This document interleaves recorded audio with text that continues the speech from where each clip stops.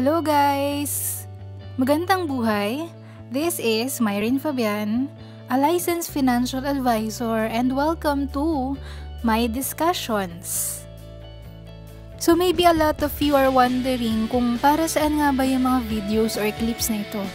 So basically, gusto ko lang i-educate yung mga tao, especially sa mga prospects and existing clients ng mga life insurance kung para saan nga ba ito.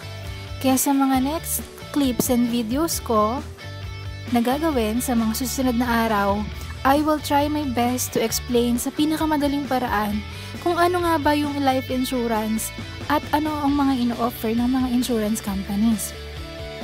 So minsan kasi may mga existing clients na gusto pang mas maunawaan kung ano nga ba yung policy na meron sila.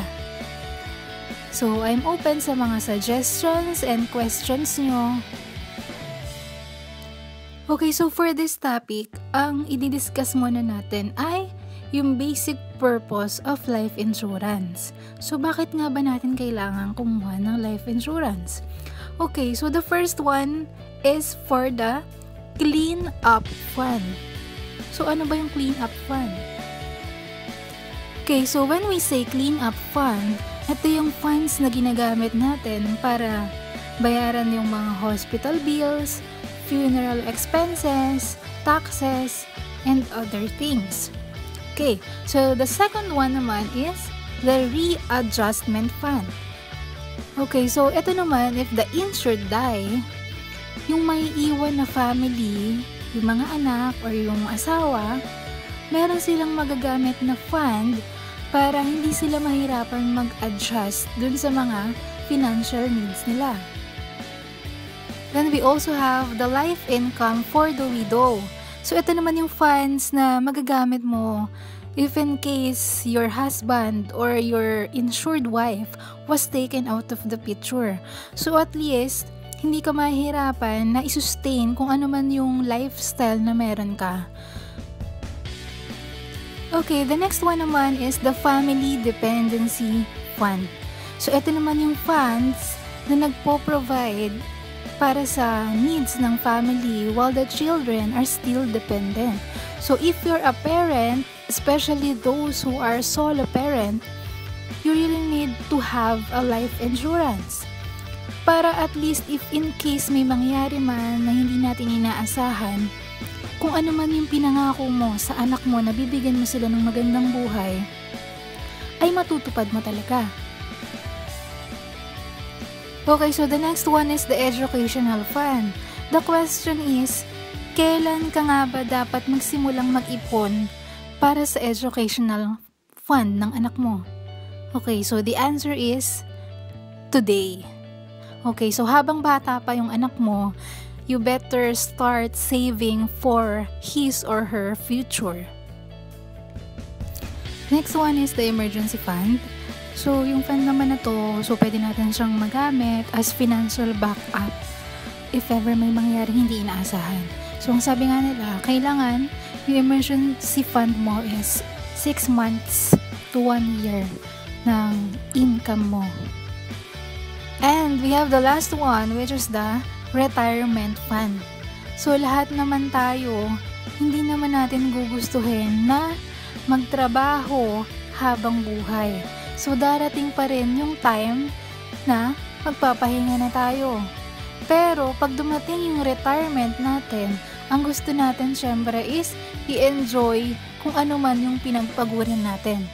And life insurance will help you enjoy your retirement. Okay, so there you go. So, yun yung basic purpose ng life insurance. So, kung mapapansin nyo, ang kaganda, ba? Ang ganda ng dahilan kung bakit kailangan natin ng life insurance. Pero, bakit marami pa rin sa atin ang hindi kumukuha ng life insurance? So, bakit nga ba? Okay, so, meron tayong tatlong um, basic reasons kung bakit ayaw nilang kumuha ng life insurance. Okay, so we have the first one. Nobody approach them. So marami pa rin talaga sa mga Pilipino ang walang idea tungkol sa life insurance kasi walang kumakausap sa kanila tungkol dito. Then the next one is that they do not see the need for it. So bilang financial advisor, so may mga tao talaga na sasabihin sa'yo na hindi naman namin kailangan ng life insurance.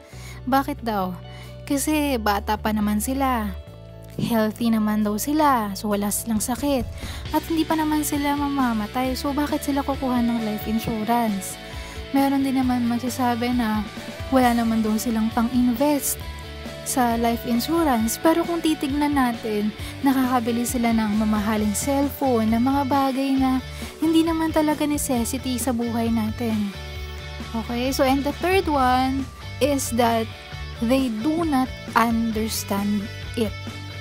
So, bilang financial advisor, ito talaga yung advocacy namin. So, para ipaintindi sa mga tao kung bakit nga ba kailangan nila ng life insurance. So, kaya gumawa rin ako ng mga videos and clips na to para naman mas maintindihan ng mas maraming tao kung ano ba yung ino-offer ni life insurance. Okay, so yun muna yung topic natin for today. Then, if you have any questions or suggestions or comments, so pwede nyo siyang i-leave sa comment box and I will try my best to answer everything, okay? Once again, this is Myrin Fabian and thank you for watching the first episode of My Discussions.